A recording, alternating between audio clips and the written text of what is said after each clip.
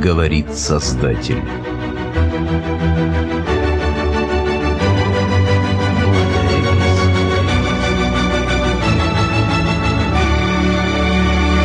Благовест. Мир трещит по швам. Катаклизмы сменяют катаклизмы. Тревога западает в души людей. Смятение и страх преобладают над разумом.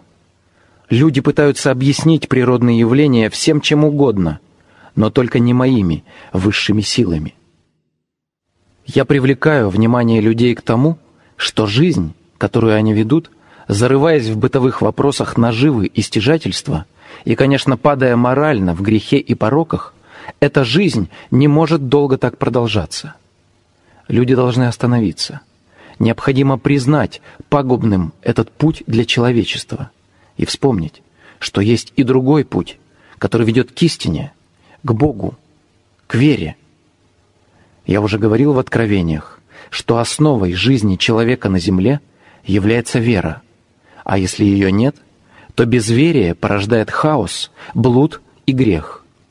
И как ответ на моральное разложение человечества, материальный мир отвечает природными катаклизмами, причем не на пустом месте, а именно там, где негативная энергия человека достигает критической величины, провоцируя всплеск энергии противоположного знака. Я не перестаю повторять, что мир мой основан на гармонии, на каноне единства и борьбы противоположностей. И поэтому в зонах человеческих конфликтов чаще всего военных или политических, всегда имеет место быть импульс энергии противоположного знака, с тем, чтобы привести ситуацию в этой зоне к равновесию. Именно к равновесию энергии добра и зла, а не к гармонии, потому что гармония, о которой я говорю, есть высшее проявление равновесия, основанного на любви и вере. Вот в чем глубокое различие, казалось бы, двух синонимов равновесие и гармония. Я должен сказать, что равновесие есть понятие человека без веры, а гармония есть понятие человека веры, человека в духе. Я уже говорил, что человечество усердно раскачивает лодку под названием «Земля». Так я пытаюсь своими силами уравновесить крен этой лодки. Когда же эта лодка набирает крен критической величины, как сейчас – я вынужден брать управление ею в свои руки. Кроме того, я говорил, что природными и техногенными катастрофами и, конечно, божественными знамениями я даю понять людям, что наступили новые времена.